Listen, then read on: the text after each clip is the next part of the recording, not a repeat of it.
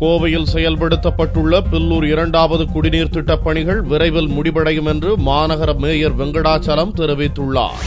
கோவை மாநகராட்சியில் ஜவஹர்லால் நேரு தேசிய நகர்ப்புற புனரமைப்பு மேம்பாட்டு திட்டத்தின் கீழ் பில்லூர் இரண்டாவது கூட்டு குடிநீர் திட்டம் நூற்று பதிமூன்று கோடியே எழுபத்து நான்கு லட்சம் ரூபாயில் செயல்படுத்தப்பட்டுள்ளது. கடந்த இரண்டாயிரத்து ஒன்பதாம் ஆண்டு துவங்கப்பட்ட இந்த திட்டத்திற்கான பணிகள் விரைந்து நடைபெற்று வருகிறது. குழாய் பதித்தல் மேல்நிலை குடிநீர் தொட்டிகள் கட்டுதல் தண்ணீர் சுத்திகரிப்பு நிலையம் அமைத்தல் பில்லூர் அணைப்பகுதி வளாகத்தில் தண்ணீர் எடுக்க கிணறு தோண்டுதல் என ஆறு விதமாக பிரித்து பணிகள் செய்யப்படுகின்றன. முதலாவது குடிநீர் திட்டம் முடிக்கப்பட்டு பொதுமக்களுக்கு குடிநீர் விநியோகிக்கப்பட்டு வரும் நிலையில் இரண்டாவது திட்டத்தை விரைந்து முடிப்பதற்காக திட்டப் பணிகளை சிறப்பு திட்ட அமலாக்க அமைச்சர் வேலுமணி பார்வையிட்டார். மழையின் காரணமாக குடிநீர் திட்டப் பணியில் சிறிது காலதாமதம் ஏற்பட்டதாகவும் தொன்னூறு சதவீத பணிகள் முடிவுற்றுள்ள நிலையில் செப்டம்பர் மாதத்திற்குள் அனைத்து பணிகளும் நிறைவேற்றப்படும் என்றும் மாநகர மேயர் வெங்கடாச்சலம் தெரிவித்தார். தொன்னூறு சதவீதமான பணிகள் முடிவடைந்திருக்கிறது.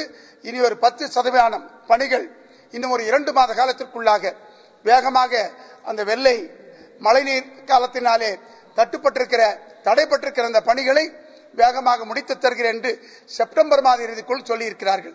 ஆகவே இருபது எம்எல்டி தண்ணீர் கொடுத்தால் நிச்சயமாக மாநகர மக்களின் தண்ணீர் கஷ்டத்தை போக்க முடியும். பில்லூர் இரண்டாவது கூட்டு குடிநீர் திட்டம் முடியும் தருவாயில் உள்ளதால் கோவை மாவட்ட மக்கள் மிகுந்த மகிழ்ச்சி அடைந்துள்ளனர்